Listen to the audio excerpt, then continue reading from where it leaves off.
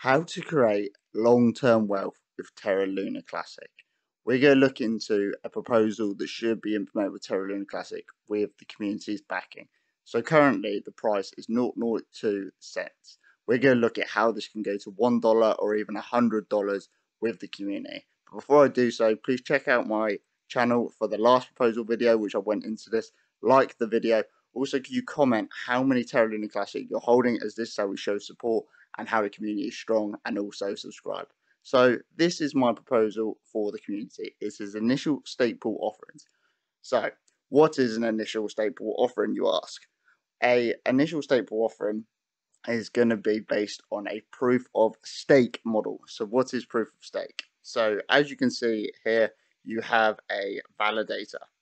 With the validator, they are also a pool owner.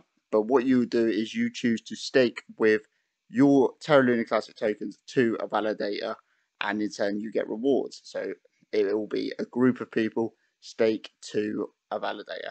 What's incurred and what works with it is there is gas fees associated with the validation process um, in terms of a commission or something like that, but also people work on block rewards. So a Luna Classic pool works very similar to that in terms of you will stake your Terra Luna Classic. So this works is you delegate the Luna Classic to the pool, and then from there, in return, what you should get, as it currently works in its finite staking model, is you will get staking rewards back of around one percent, minus any commissions that the um, delegator or pool owner has put um, on his model. So the commission is obviously variable, and they specify that in rewards, which I'll explain later.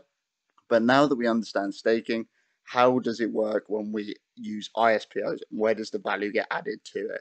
So this is based on our Cardano model, and it is the same process again.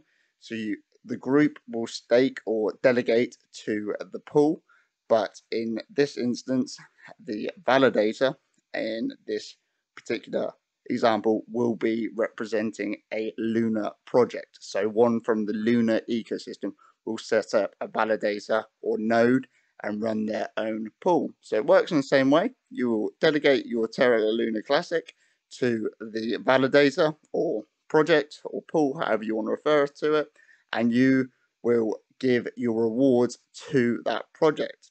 So you will not be getting back your 1% daily rewards anymore. In return, you will get a native project token. And this is where we create wealth for Terra Luna Classic. So each of these projects will have their own native token. So what that means is they will have a use case for that token. For example, if it's a DEX, it might be lendable, tradable, or you might have to provide liquidity with it, and in turn you can get return. Same thing have happened with Cardano. So Cardano had loads of projects that went through ISPOs, a lot of them with DEXs and lending protocols, and with them they also had value valuable native tokens. For example, when we go on here, this is just filtered on the Cardano projects where they have value. For example, World Mobile token is a great example. It has um, an ISPO with Cardano. It had its own pools that you had to dedicate to, and with that, they have now got a market cap of around $54 million. Um, and they have taken off really, really well. It's the same, they've got loads of different projects where they got funding through these ISPOs as well. So that is where the game changer comes along because a lot of these projects to need some startup capital. So they will get the LUNC tokens that you would have got. Um, and with that, they can then use it to build their own sort of value. So, for example, when we start with the Anchor protocol, it might need a level of capital and some liquidity behind it to be able to move forward with this.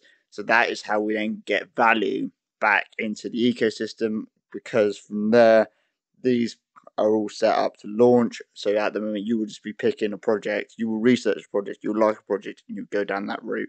And that is how we create long term value for the Terra Luna um, ecosystem because this doesn't have to be with just the existing projects we have here. New projects will be able to do the same thing, get their own sort of um, funding mechanism to go forward. So what we'd need to do is we need to get a new proposal put onto the Terra Luna blockchain um, to be voted upon, and then from there we can see if people want to vote on it. But I want to create awareness for this before I do so, so everyone knows what's going on. And in terms of how we'd be staking and how it would work, it'd be in the same sort of process. So you just pick, there'd be, for example, if we are doing it now, there'd be an anchor validator node, and this can't happen until around 30th of October. That's when um, they will allow new validators. But you have an anchor protocol node. Um, they will just say how much voting power they have. They take a level of commission. That's what we talked about in the tutorial earlier. And then from there, instead of you getting rewards like we were seeing here, you will actually um, get zero rewards, but they will airdrop you your tokens, and that will be something that you can use in tradable um, on one of the dexes once we have the, those go live on the exchange. So it's obviously a very long term view, but that could add a lot more value than just you LUNC tokens alone, and it could be something we need to look at. So if you believe in this and think people should vote upon it, um, please can you share this with everyone? The Terra are the main ones we need, but obviously if we can get some big YouTubers involved and they like this concept, we can put it and go in places. So please like, comment, and subscribe. Share this as many people as possible. Follow my TikTok, follow my Twitter, and I will see you in the next one.